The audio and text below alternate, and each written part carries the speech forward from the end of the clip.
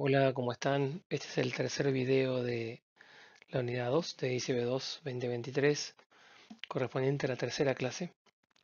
Con esta tercera clase terminamos la unidad de genética. Este, para dejar en la semana que viene una instancia de repaso y de poder revisar este, algunos ejemplos de preguntas y de problemas de genética eh, problemas que también vamos a, conversar y, a, discutir juntos en el práctico, en el segundo módulo del práctico. En la clase de hoy básicamente lo que querría eh, es tocar brevemente algunos conceptos eh, más modernos de genética. En las clases 1 y 2 vimos lo que podemos llamar genética clásica, eh, que son, corresponden a conceptos muy fundamentales que desarrollaron en el campo de la genética, pero que em, más cercanamente en el tiempo, este, con las nuevas herramientas eh, moleculares, bueno, se pudieron eh, ir complejizando más los, conceptos, se pudieron ir completando, algunos aspectos quedaron un poco, este, un poco de lado, otros no, simplemente porque la genética clásica eh, produjo conceptos muy, muy fundamentales. Pero bueno, querría en esta tercera clase tocar esos aspectos un poco diferentes de, genética en cuanto a, que no todo es tan eh, simple como, como vimos en las clases anteriores. Bueno, uno, de estos aspectos que podemos comentar eh, es que en realidad en los ejemplos que vimos, sobre todo, bueno, tanto en la primera como en la segunda clase, siempre nos manejamos con distintos alelos para, para un mismo gen y cómo esos alelos se, heredan, digamos, entre una generación y, la siguiente a través de una cruza, pero cuando veíamos diferentes alelos para un mismo gen, veíamos un caso simplificado en el cual un alelo es dominante y el otro es recesivo, por lo tanto, en el caso del heterocigota se expresa en el fenotipo solamente uno de los, de los fenotipos que, corresponden a esos alelos. Eh, en realidad esto es, es simplificado y eh, esto de todas formas proviene también de, experimentos de genética clásica en el cual se vio que había casos en los cuales el heterocigote expresaba un, un fenotipo intermedio a los de los alelos eh, cuando estaban en condición de homocigota eh, y eso se denominó en su momento dominancia incompleta, en el cual entonces los afectos de los dos alelos en un locus de un gen, en el caso del heterocigota, se combinan eh, dando un fenotipo intermedio. Un ejemplo muy, muy sencillo es el de una flor con dos colores, este, rojo y blanco, eh, que corresponden a los fenotipos de homocigotas para un gen con dos alelos distintos, R1 y R2.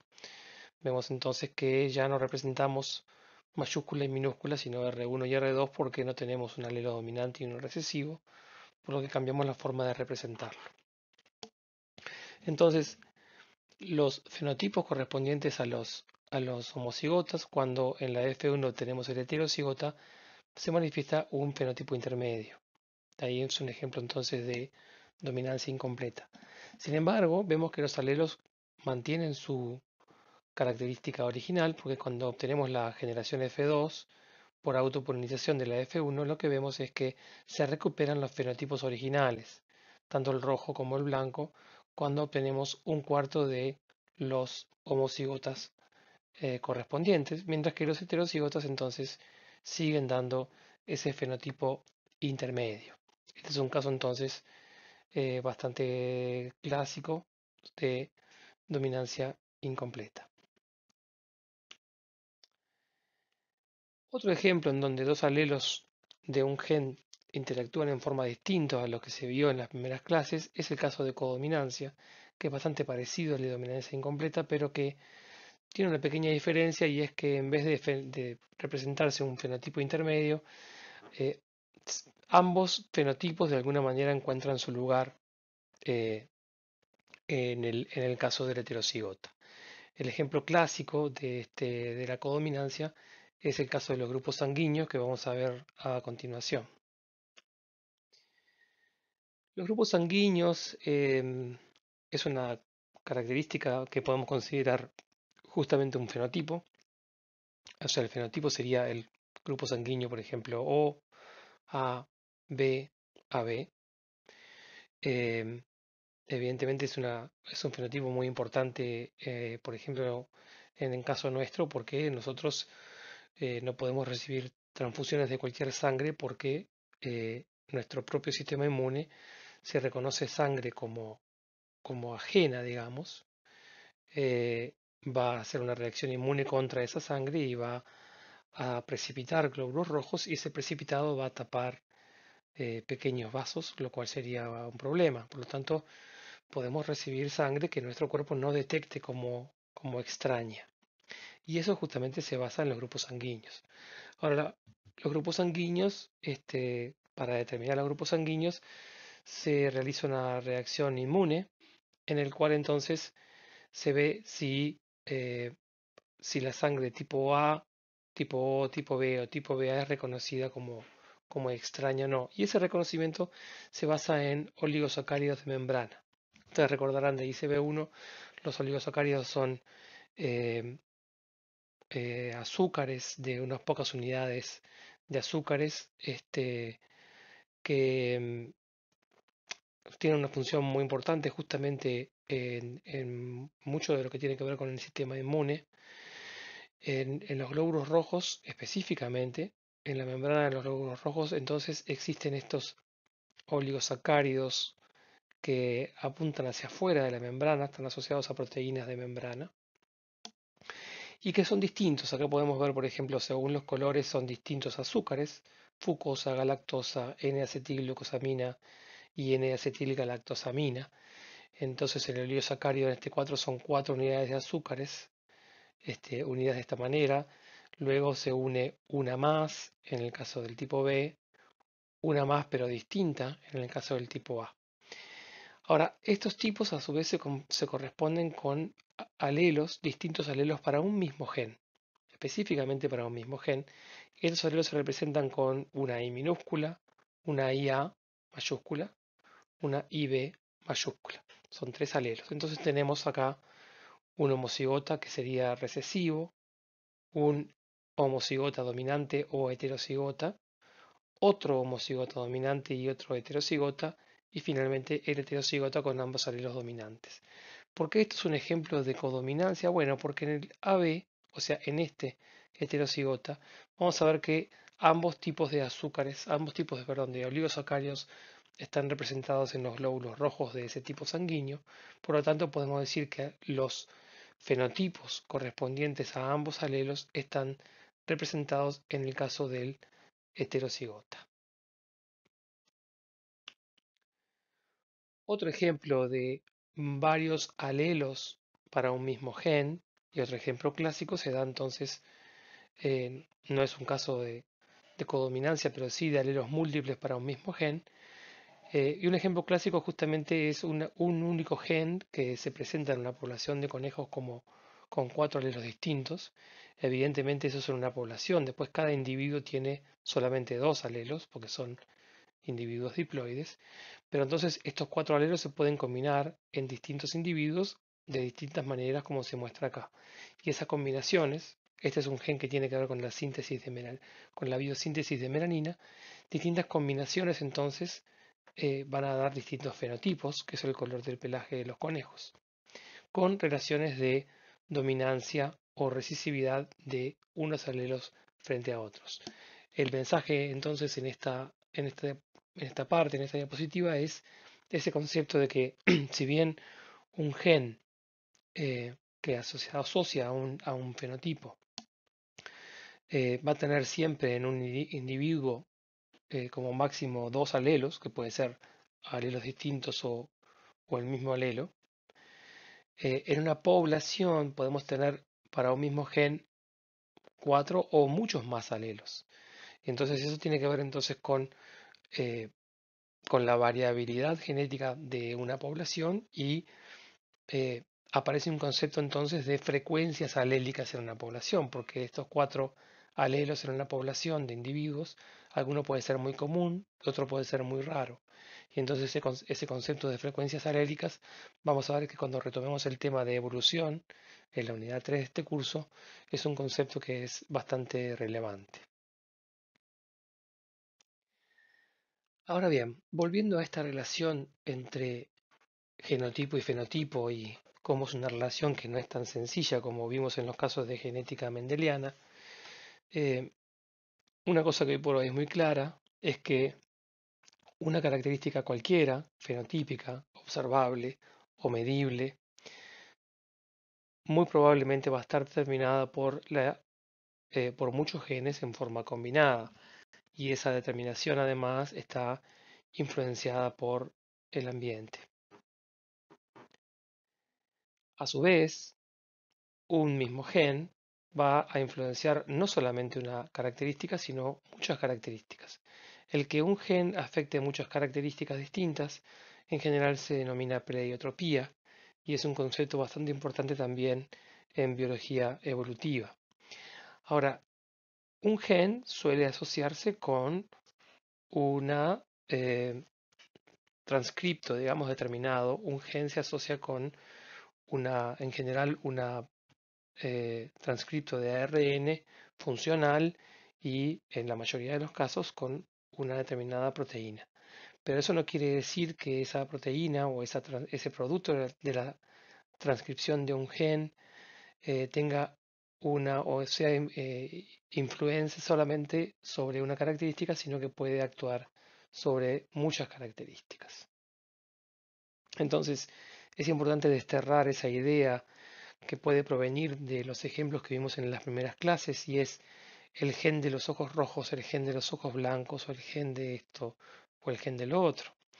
Entonces, las características están influenciadas por muchos genes y los distintos genes influencian también distintas características. Eso no quiere decir que una cierta mutación en un gen tenga un efecto muy claro y observable, y observable en una cierta característica, pero no quiere decir que esta característica solamente esté determinada por un gen.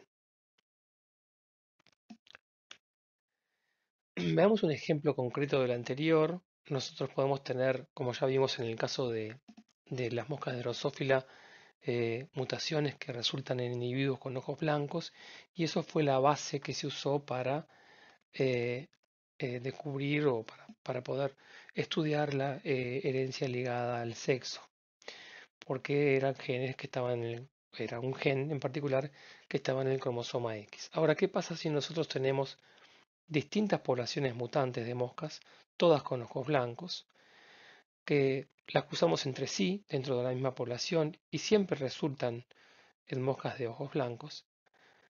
Pero luego cuando cruzamos individuos de distintas mutaciones, de distintas eh, poblaciones, perdón, obtenemos individuos de ojos rojos. Eso es algo inesperado y la explicación eh, se encuentra en esa diapositiva y de alguna manera la explicación tiene que ver con esa idea de que no hay un gen de los ojos rojos, sino que los ojos rojos es una característica influenciada por muchos genes. Entonces, las distintas poblaciones que yo estoy observando, eh, población 1, población 2, en realidad son mutantes en distintos genes. Para verlo más en detalle, tenemos acá una población que presenta una, mutación homocigota en un gen B, y ese gen B hace que no se pueda completar entonces el desarrollo del fenotipo silvestre del color de ojos, que es el color de ojos rojos. Mientras yo cruce entonces individuos de esta población, siempre voy a obtener lo mismo, siempre voy a obtener entonces individuos con el fenotipo mutante. Puedo tener otra población que aparentemente tiene el mismo fenotipo, el de los ojos blancos, pero que la mutación ocurre en otro gen, un gen llamémosle A, que ocurre en otra eh, parte, digamos, del proceso fisiológico que culmina con el fenotipo silvestre, que es el de los ojos rojos. Entonces, cuando yo hago una cruza entre individuos de la población 1 y la población 2, esta es una cruza que puede analizarse mediante un tablero de Panet, como hacíamos en las clases anteriores, y ustedes pueden aprovechar para para practicarlo, como qué gametos va a producir entonces este individuo, qué gametos va a producir este individuo. Pueden incluso practicarlo considerando que puede ser entonces un macho y una hembra, que puede ser un gen ligado al sexo o no. Acá estamos representando en realidad lo que serían genes autosómicos. Lo que va a ocurrir es que la población que se obtiene de esta cruza es heterocigota para ambos genes. Por lo tanto, tiene un alelo silvestre para ambos genes y si la mutación es recesiva, como se está planteando aquí, el proceso de la biosíntesis fisiológica necesaria para obtener el color de ojos rojos, que es el color silvestre entonces, se va a dar en esta población resultante. Esto a veces se conoce como prueba de complementación, es decir, cuando tenemos mutantes para eh, una cierta característica, pero queremos saber entonces si esos mutantes corresponden a mutantes para un único gen eh, o para distintos genes, entonces este, este tipo de, de cruza se hace eh, con ese objetivo.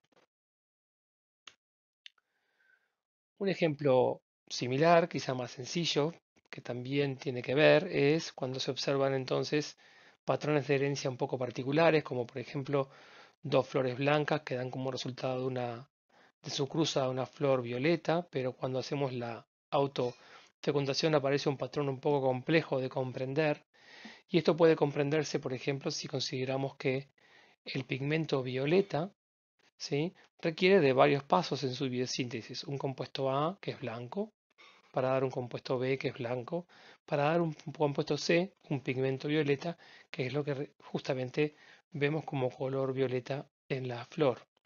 Cada uno de estos pasos requiere de una enzima eh, y cada una de esas enzimas o las distintas enzimas requieren entonces de la codificación necesaria en un gen.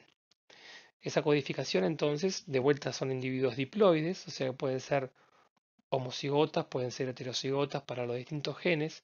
Puede ocurrir entonces que haya una mutación recesiva en la cual la enzima se produce, pero si está en condición de homocigota, esa mutación, ¿sí? homocigota recesivo sería, no se va a producir la enzima, por lo tanto no se va a producir este intermediario que llamamos compuesto B.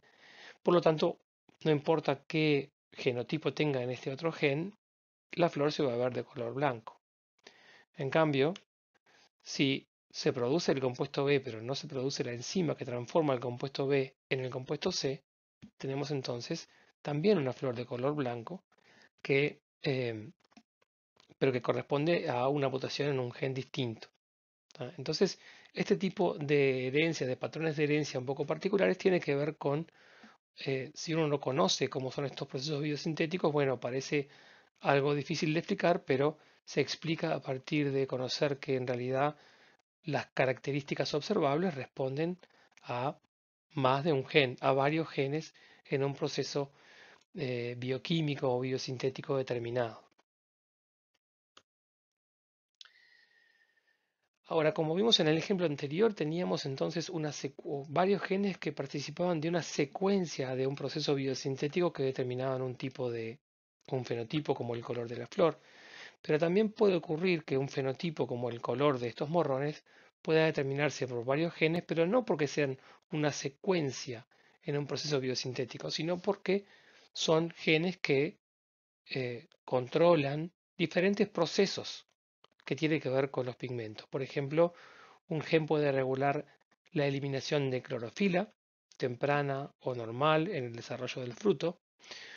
Otro gen puede determinar el color de los carotenoides sintetizados. Los carotenoides son compuestos coloreados que tienen que ver con el color de muchas, este, eh, muchos colores en plantas.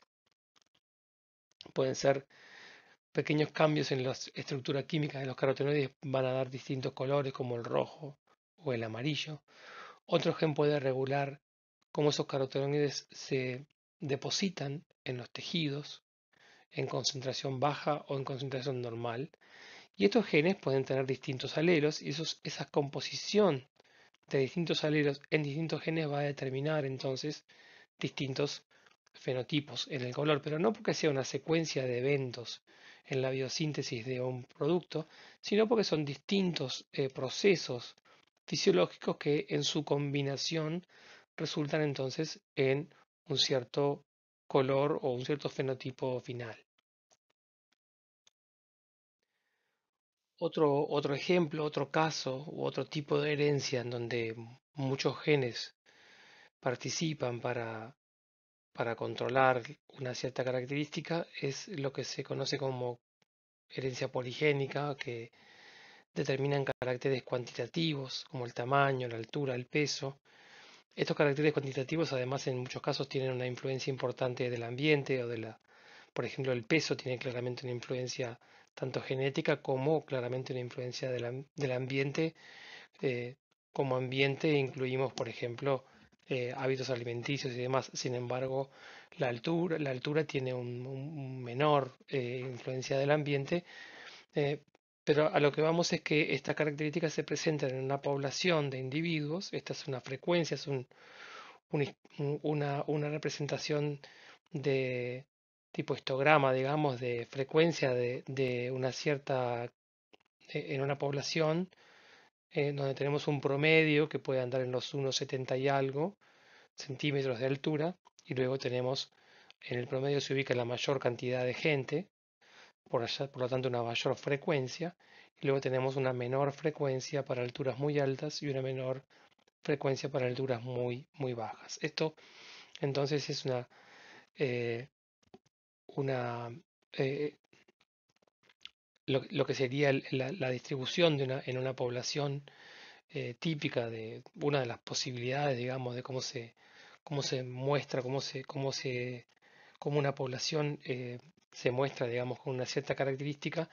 Y en el caso de, que esa característica tenga una influencia fuerte genética, entonces tenemos no características discretas como los colores de los morrones que vimos más temprano, sino eh, muchos genes que participan en determinar una característica que además aumenta la variabilidad por el efecto del ambiente.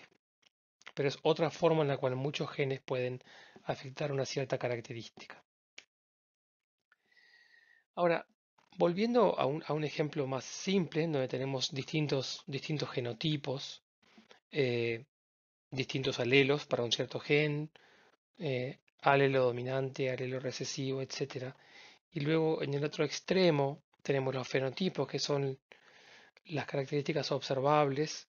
Este, o sea, yendo un caso bastante simplificado de lo que podría haber trabajado Mendel en su momento, en realidad está, está bueno tener claro qué es lo que estamos viendo, qué es lo que estamos eh, observando. ¿no? En el caso, por ejemplo, de un, del fenotipo, el color rojo, por ejemplo, eh, debe ser claro que no estamos viendo un gen, no estamos viendo eh, la secuencia de nucleótidos, ¿verdad? O una porción de ADN. Eso parece bastante claro. Pero tampoco estamos viendo el producto de su expresión en, en, la proteína correspondiente. estamos viendo un producto que es un metabolito que requiere una cierta biosíntesis en ese organismo y seguramente de esa biosíntesis participa el producto de expresión del gen que estamos estudiando, que es una enzima que puede participar entonces eh, en, la, en la biosíntesis de ese producto. Podemos analizar hoy por hoy ambos extremos de este, de este proceso porque podemos ver el fenotipo y hoy por hoy podemos conocer el genotipo porque podemos secuenciar el ADN con un nivel de detalle muy importante. Sin embargo, en el medio de esto puede haber una especie de caja negra de que cómo ocurre, digamos, que este genotipo se expresa en este fenotipo y por qué un homocigota se va a expresar en rojo, el heterocigota se va a expresar en rojo, por lo tanto, por qué un alelo es dominante y otro es recesivo. Todo eso suele estar en muchos casos cada vez menos o, cada vez se va aprendiendo más, digamos, pero en muchos casos todavía es una especie de caja negra. Caja negra que puede simbolizar un montón de reacciones metabólicas que tienen que ver con la biosíntesis de este tipo de compuestos, que se llaman antocianidinas o antocianinas, que son compuestos coloreados, eh, porque absorben fuertemente en el, espectro visible de la luz y que están entonces, por ejemplo, son eh, típicamente compuestos que son responsables de los colores de las, de las flores. Pero estos compuestos requieren de decenas de eh, reacciones metabólicas, cada una de las cuales requiere enzimas, cada una de las cuales está codificada por genes. Entonces, ese es el nivel de complejidad que nos perdemos cuando analizamos esto solamente desde el punto de vista del genotipo que utilizó Mendel, el fenotipo que se puede observar. En el medio entonces hay otro montón de cosas que están ocurriendo. Esto podemos verlo también en el ser humano. Podemos tener un ejemplo en el cual tenemos una, un metabolito, la ubiquinona, que es un metabolito importante en todos los eh, organismos eucariotas, en donde se da la respiración celular a nivel de la mitocondria. Eh, este, este compuesto tiene que ver con el intercambio de electrones y con, el, em, con reacciones redox que tienen que ver justamente con el proceso energético muy fundamental que se da en la respiración celular. Y como podemos ver acá, tiene un montón de pasos en su biosíntesis a partir de un precursor eh, este precursor, el ácido hidroxibenzoico, tiene, bueno, primero se va a alquilar en una posición, hidroxilar en otra, luego aparecerá algún paso de reducción y demás. Cada uno de estos pasos entonces tiene una enzima asociada, cada una de estas enzimas tiene entonces un gen asociado y para este tipo de compuestos que son muy relevantes para nuestro funcionamiento como seres vivos, hemos logrado aprender mucho sobre todos estos genes, dónde están ubicados, cómo pueden ser las mutaciones que se pueden observar, pero lo que podemos ver acá no es solamente que muchos genes participan en lo que sería un fenotipo, que es la presencia de ubiquinona en la célula, sino que además distintas mutaciones eh, durante todo este proceso van a dar lugar, dependiendo en diferentes regiones del cuerpo, a distintos eh, fenotipos, que en este caso son todas enfermedades. O sea que, que son todos complejos que están, eh, todos este procesos, perdón, que están muy interrelacionados entre sí, con muchos participantes y con muchos eh, fenotipos posibles distintos. De vuelta la idea de que no es todo tan sencillo como planteamos en las clases pasadas cuando nos enfocamos en los conceptos de genética mendeliana. ¿Cómo, podemos trabajar en el caso del ser humano entonces eh, para ir conociendo un poco más en detalle dónde están ubicados esos genes y cómo podemos llegar a, a conocer, bueno, cuáles son los genes mutantes, dónde están ubicados en el, en el, en el genoma y demás. Bueno, yo no voy a entrar en mucho detalle de eso, pero sí quería comentar brevemente, solamente a comparación de lo que vimos en la clase pasada, que hablamos del mapeo de cromosomas, de genes en cromosomas, en el caso de Drosophila, por ejemplo, donde se mapearon los cromosomas, pero en función de la generación de mutantes y la cruza entre mutantes, para establecer entonces, en base a los eh, porcentajes de, em, a los, porcentajes este, observados en la, en la meiosis, los porcentajes de recombinación, entonces podían indicar eh, grupos de ligamiento y posiciones relativas de los genes en los cromosomas. Eso evidentemente con los humanos no, se hace. Eh, pero se utilizan otro tipo de estrategia que tiene que ver con la posibilidad más reciente de que los genomas se pueden em, identificar, o sea, se pueden secuenciar eh, la secuencia de nucleótidos en el genoma de diferentes individuos, cada vez con más, con más este, facilidad y cada vez con costos menores. Em, entonces, lo que, lo que surge de la, de la caracterización de, genomas en diferentes individuos es que la enorme mayoría eh, de las bases son las mismas. La variabilidad proviene por lo menos a nivel del genoma, eh, proviene a partir de aproximadamente uno cada mil bases en donde hay eh, variabilidad y esa variabilidad ocurre en ciertos lugares del genoma que no necesariamente son lugares codificantes, o sea, pertenecientes a un gen, pero son lugares que se repiten y esos lugares es lo que presentan una alta variabilidad en distintos individuos en el mismo locus, o sea, en el mismo lugar del genoma. Esas, posiciones variables es lo que se denominan eh, en, del inglés single nucleotide polymorphisms, polimorfismo de un solo nucleótido, o sea que en un solo nucleótido hay distintas formas o distintas bases, digamos, mientras que en todas las demás son básicamente las mismas. Eso se denomina SNPs, se, denomina SNP y se pronuncia en general SNPs porque es una pronunciación bueno que viene quizá del inglés. Entonces, puede haber aproximadamente unos pocos millones de SNPs, uno cada mil bases aproximadamente, pero son altamente variables. Se conocen cada vez más de esos SNPs y entonces esos SNPs representan o permiten entre distintos individuos en el mismo cromosoma y en la misma ubicación relativa del cromosoma, entonces son las posiciones que pueden diferenciar a un individuo de otro.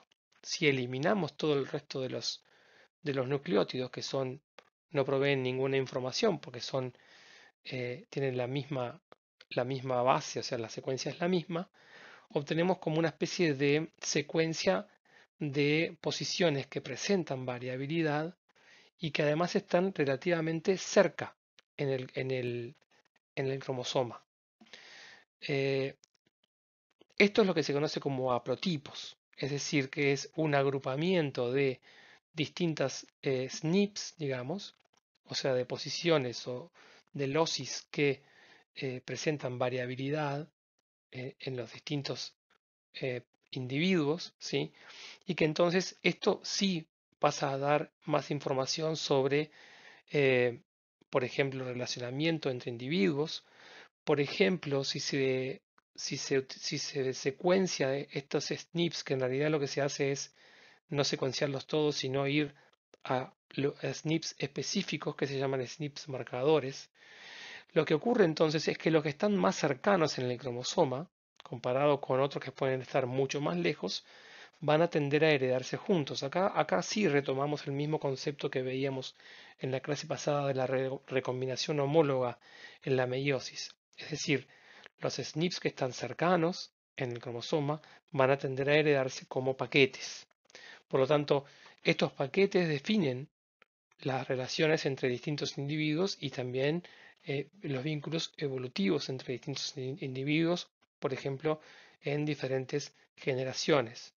Entonces, este tipo de información se usa de alguna manera para, si se encuentra una cierta enfermedad en distintos individuos, se busca en qué lugar del genoma, entonces, esos mismos individuos que presentan la misma enfermedad, en qué lugar del genoma tienen eh, una región o haplotipos similares entre sí. Probablemente entonces, por más que esos haplotipos o esos SNPs no sean parte de genes, se usan como banderas para poder ubicar genes eh, en, una región del genoma y relacionar esos genes con una eh, cierta eh, patología o una cierta característica. Ahora bien, decíamos uno de, uno de cada mil bases es aproximadamente es, es, diferente entre distintos individuos, eso es una variabilidad bastante baja, porque hay también otro componente de la variabilidad entre individuos que está por encima de los genes. Y eso es un campo que se conoce como epigenética. Epi es por encima justamente, por encima de los genes, y que, tiene que eh, tiene, ha tenido un desarrollo muy grande en los últimos tiempos y que tiene que ver básicamente con, cambios en la expresión de genes, pero cambios que no implican eh, cambios en la secuencia del ADN sino que son otro tipo de cambios eh, que incluso pueden ser hereditarios. Esto, a ver, la epigenética como, como área tiene em, básicamente tiene como distintos, distintos aspectos. Por un lado, como podemos ver en, este, en esta figura que está acá, nosotros podemos ver que el ambiente tiene una influencia importante en cómo los genes se expresan. Acá tenemos ejemplos de plantas que en la línea vertical son clones, o sea, son genéticamente idénticas. Esta planta, esta y esta. Este es otro clon. Este es otro clon. Eh, o sea, no es que sean iguales, no que sean clones en, esta dirección, son clones en la, en la, dirección vertical. Entonces, estos clones fueron plantados a distintas eh, alturas, al nivel del mar, 1400 metros, 3000 metros sobre el nivel del mar, condiciones, por ejemplo, de disponibilidad de oxígeno, de presión muy diferentes. Lo que puede verse es que la expresión génica, digamos, que recordemos que son clones, em, varía mucho según el ambiente. Por lo tanto, hay algo en el ambiente que está determinando cómo un mismo genoma eh, va a resultar en fenotipos completamente distintos.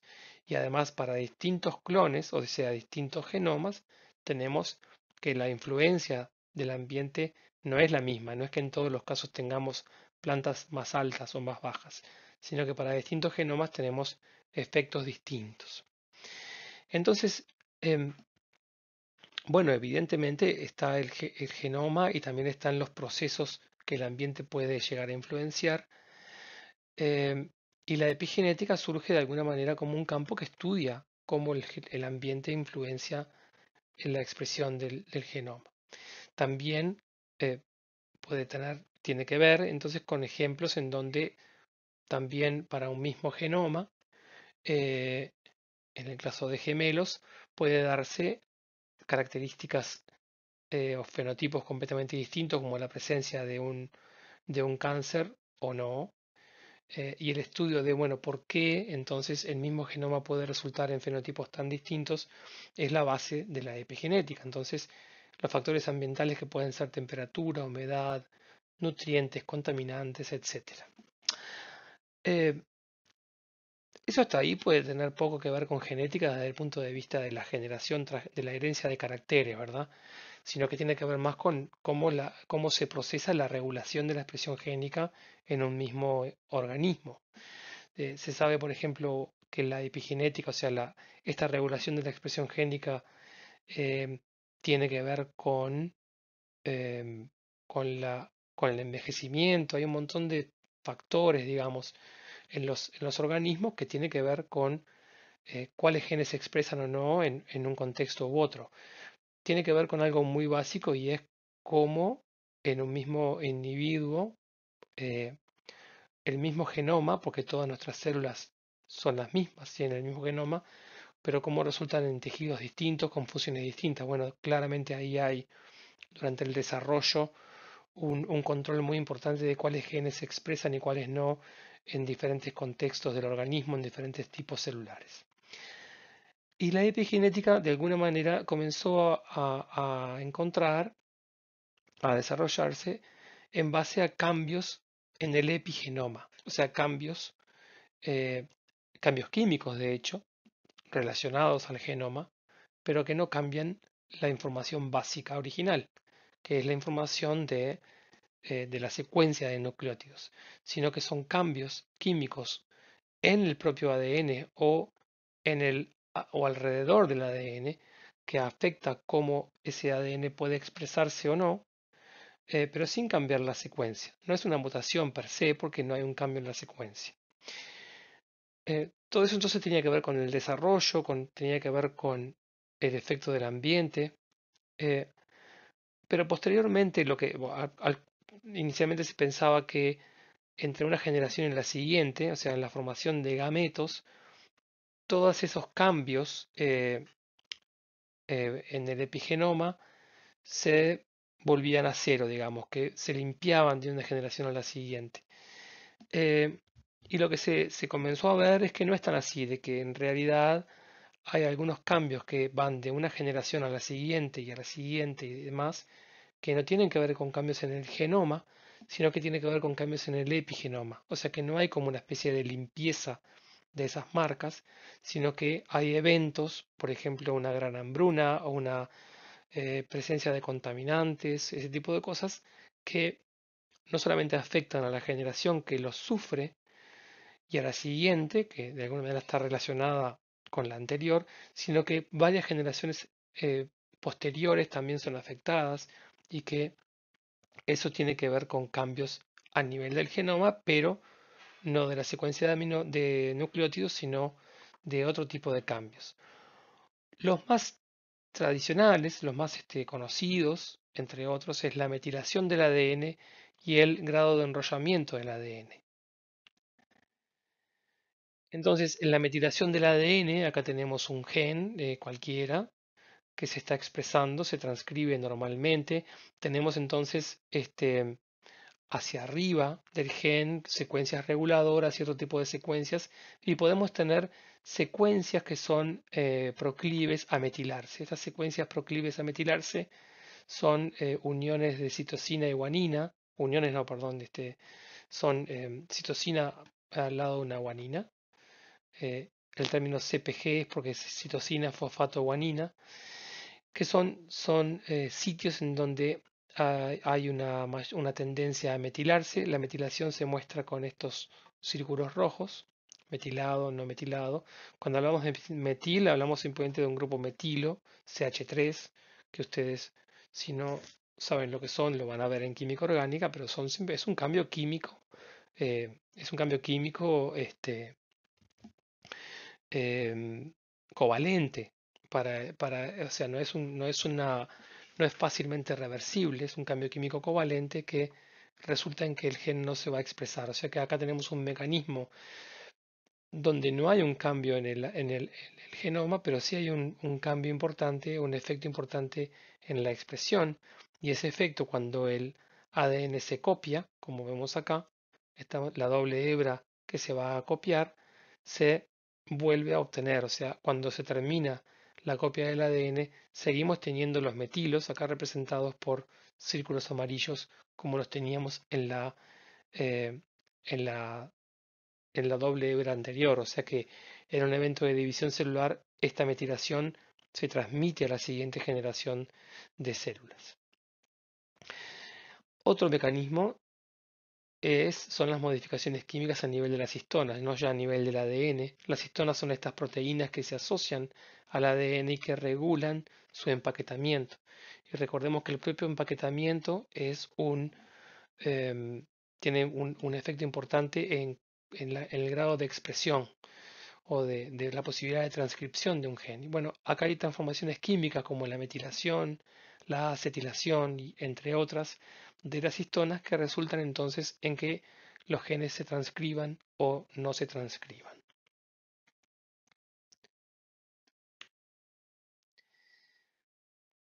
Entonces, para individuos con un mismo genotipo, exactamente con el mismo genoma, nosotros podemos tener, acá representamos en cada óvulo un mismo genoma para un cierto individuo, para distintos individuos, perdón, podemos tener que una cierta característica que uno esperaría de un cierto genotipo se exprese o no se exprese. Eso en genética tradicional, digamos, o en genética médica, eh, se conoce como penetrancia incompleta. O sea, un, cierto genotipo, hay un cierto porcentaje de individuos que expresan el genotipo esperado y otro que no. Un concepto parecido, pero no exactamente igual, es la expresividad variable, y es que para aquellos casos en donde sí se expresa el fenotipo, se puede expresar con distinta eh, con distinto grado, digamos, una gama de expresión. Entonces, eh, para un mismo genotipo, básicamente, podemos tener penetrancia y expresividad variables. Entonces, es importante el concepto de que el genotipo no es tan determinista, digamos, no determina en forma absoluta al fenotipo correspondiente, sino que hay una enorme variabilidad, variabilidad dada por el ambiente, variabilidad dada por fenómenos de epigenética como vimos recién, que regulan la expresión génica, eh, variabilidad dada por quizás eh, distintos genes que participan o que coparticipan en la expresión de, un cierto fenotipo. Ya casi terminando, eh, me, parecía importante volver, si volvemos al caso inicial de, un, eh, em, de un, una de las cruzas que hizo Mendel cuando trabajó en esos primeros pasos de la genética, eh, una, una, una cruza monohíbrida que daba entonces una flor heterocigota que expresaba un fenotipo dominante, luego la autopolinización y la F2, esta proporción de 3 a 1, entre el fenotipo dominante y el fenotipo recesivo. Hasta ahí es lo mismo que vimos antes. Ahora, ¿por qué? ¿Por qué ocurre esto? ¿Qué es lo que podemos, cómo, qué podemos, este, por qué el dominante, por qué hay un color dominante, por qué hay un color recesivo? Entonces, estos, estos procesos que cada vez se van conociendo más para distintos sistemas, digamos, tenemos el fenotipo es un color, o sea, el color es un pigmento, eh, la presencia o no de ese, de ese color implica la presencia o la ausencia de ese pigmento, y la presencia del pigmento depende de una biosíntesis que puede ser defectuosa. La biosíntesis defectuosa puede deberse a una enzima ausente o a una enzima defectuosa. Y esa enzima ausente o defectuosa puede deberse a una mutación.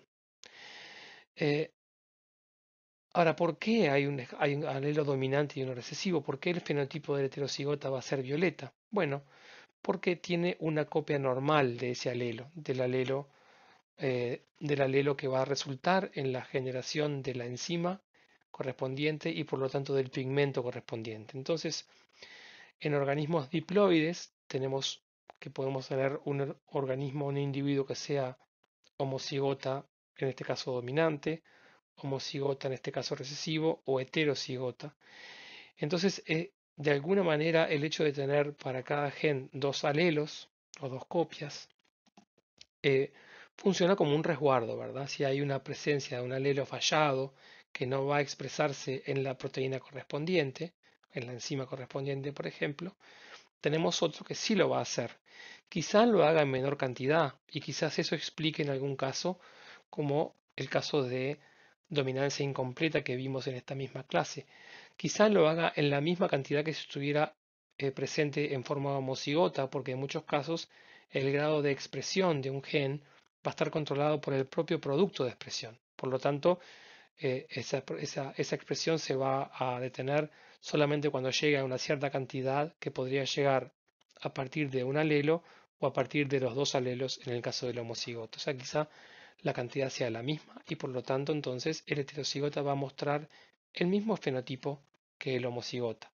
Sin embargo, si la mutación está presente en forma homocigota, ahí ya no tenemos el producto de expresión, por lo tanto no tenemos esta eh, biosíntesis eh, para llegar al, al pigmento correspondiente. Entonces, cuando, por ejemplo, un, alelo puede ser recesivo? Bueno, cuando hay una mutación o algún tipo de cambio que implica una pérdida de función. Pérdida de función, ¿por qué? Porque no se expresa en la proteína correspondiente. Esa pérdida de función entonces puede llegar a ser recesiva porque en presencia del heterocigota vamos a tener el mismo producto que teníamos en el caso del homocigota. Un ejemplo un ejemplo de, la, de, la, de una enfermedad eh, humana, que es la fenilcetonuria. La, la fenilcetonuria es una enfermedad que se conoce bastante bien, es una enfermedad monogénica causada por mutaciones en, en, un gen que se conoce como PAH. Cuando decimos enfermedad monogénica es porque se asocia mutaciones en un cierto gen. No quiere decir que ese gen y el producto de su expresión sean los únicos que controlan un cierto fenotipo, pero sí que hay mutaciones en ese, en ese gen que se asocian eh, específicamente con esa enfermedad. Eh, entonces, bueno, es una enfermedad recesiva que, como vimos en el caso recién, con una pérdida de función. Esa pérdida de función se da por algo bastante simple, que es la ausencia de una enzima, que es la fenilalanina hidroxilasa, se llama fenilalanina hidroxilasa porque hidroxila a la fenilalanina. La fenilalanina es un aminoácido común eh, y la tirosina, que es el producto de hidroxilación, también es un aminoácido común y necesario. En la ausencia de esta enzima, que se debe a mutaciones con pérdida de función en el gen correspondiente, implica que se va a acumular fenilalanina porque no va a reaccionar esa acumulación de fenilalanina resulta tóxica para las células durante el desarrollo embrionario, células nerviosas, y eso resulta entonces en problemas en desarrollo cognitivo. Entonces, eh, ¿por qué es una enfermedad recesiva? Bueno, porque en el caso del heterocigota hay una copia del gen que se expresa normalmente, por lo tanto la actividad de la fenilalanina hidroxilasa va a ser normal y por lo tanto tenemos un caso de un portador sano. En condición de homocigota, sin embargo, no tenemos la enzima y por lo tanto la enfermedad se va a desarrollar.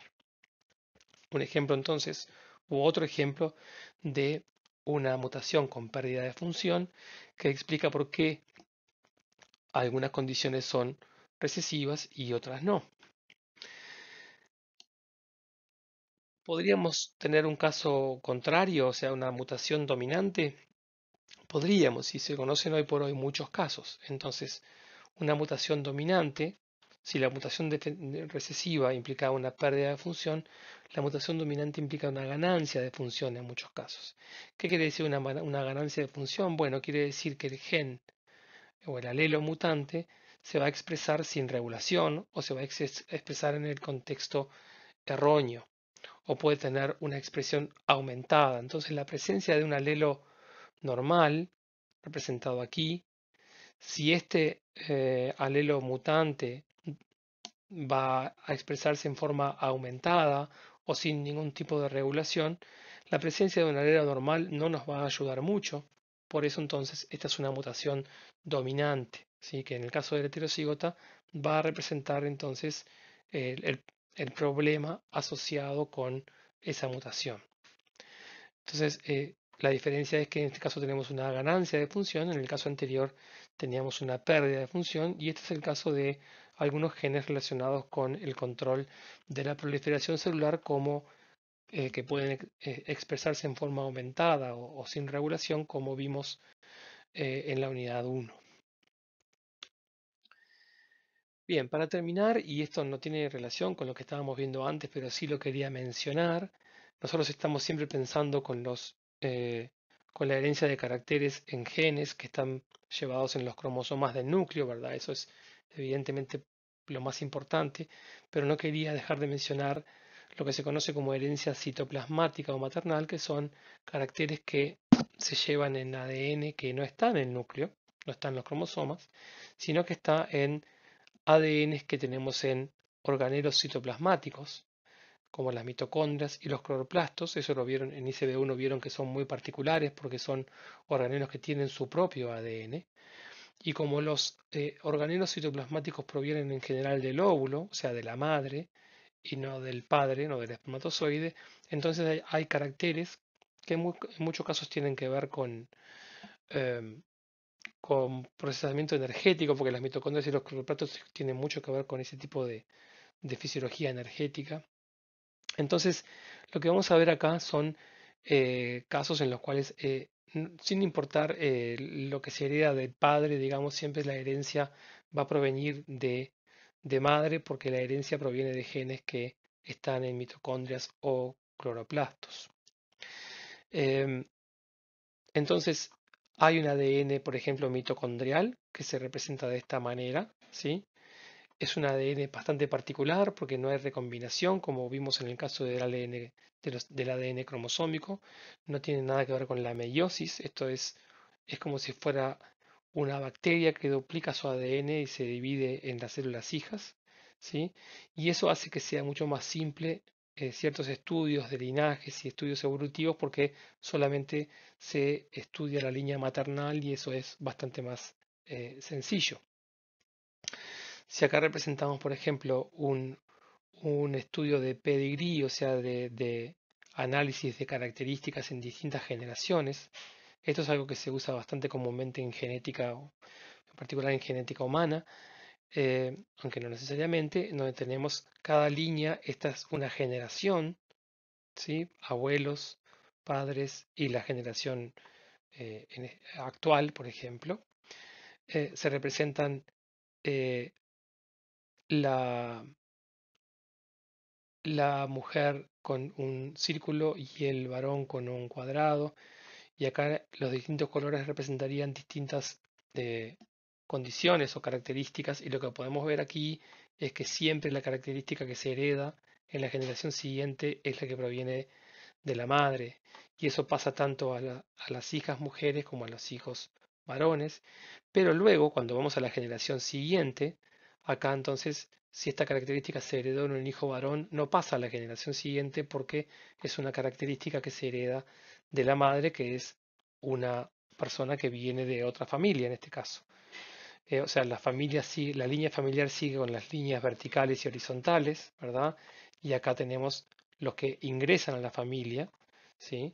Este, que traen su propia bagaje genético y lo que podemos ver acá es que siempre se hereda entonces esa característica como herencia maternal o herencia citoplasmática. Quería entonces comentar brevemente eso antes de terminar, siendo que es igual un, un tema completamente distinto al que veíamos, al que veíamos antes. Bien, con esto entonces terminamos la tercera clase de, genética. Em, entre las tres clases espero que logren tener un, un balance un poco de esta, de esta área de estudio. En tres clases realmente es muy poco lo que se puede decir, pero espero que logren, que, hayamos logrado transmitir algunos conceptos fundamentales de, esta área que es tan importante en, la, en las ciencias biológicas.